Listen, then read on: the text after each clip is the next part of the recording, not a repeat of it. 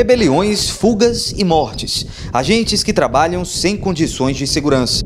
Detentos fora das celas. Em março do ano passado, uma onda de rebeliões simultâneas destruiu parcialmente 14 unidades prisionais do Estado.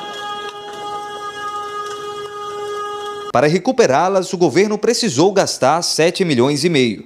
Menos de dois anos depois, os presídios ainda sofrem com a falta de estrutura. Continuam as unidades prisionais com essas unidades eh, com defeito, com problema, os presos soltos, na, na, soltos dentro das unidades por isso que, inclusive, muitas fugas têm acontecido e os presos estão soltos, basicamente, em boa parte das unidades prisionais do Estado. Então a situação é caótica, é dramática, além do número de mortes, que é muito acentuado. O Rio Grande do Norte conta com 20 centros de detenção provisória, onde deveriam ficar apenas aqueles que aguardam julgamento.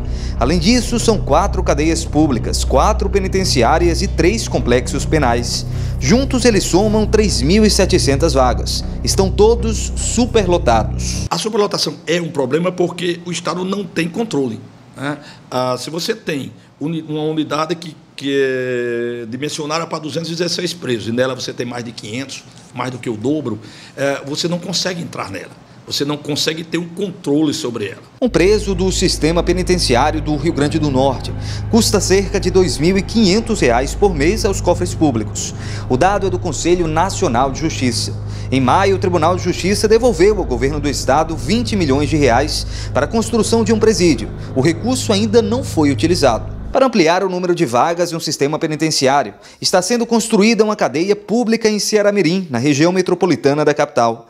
Terá capacidade para receber até 600 detentos, mas ainda não há previsão para quando será concluída. Uma solução considerada pela Secretaria Estadual de Justiça e Cidadania para reduzir o caos no sistema penitenciário seria compartilhar a gestão das unidades prisionais com iniciativa privada.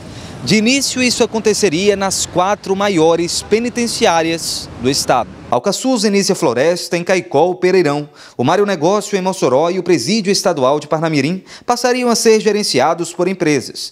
Segundo a Sejuc, o custo para manter os presídios aumentaria 15%. O sistema eh, privatizado custa o dobro do custo convencional. Se o governo está conseguindo honrar os compromissos com o sistema convencional, imagine com o sistema privado. E mais, o sistema privado é, exige o cumprimento da lei de execuções penais, que pressupõe a quantidade de preso por cela, muito, uma quantidade muito menor de presos o que oneraria muito a haveria necessidade de construir várias unidades prisionais. Se o Estado não tem recursos para gerir o sistema convencional, imagina o privado. O edital de licitação para privatizar alguns dos presídios está em fase de estudos de viabilidade técnica e orçamentária. Talvez com as mudanças o sistema penitenciário passe a conviver não mais com as três palavras citadas no início da reportagem: rebeliões, fugas e mortes, mas com uma que mudará todo o resto ressocialização. A superlotação que impede que, se, que, o, que o Estado faça um trapo, tenha o controle efetivo sobre as unidades prisionais e é, que possa ter qualquer trabalho de ressocialização.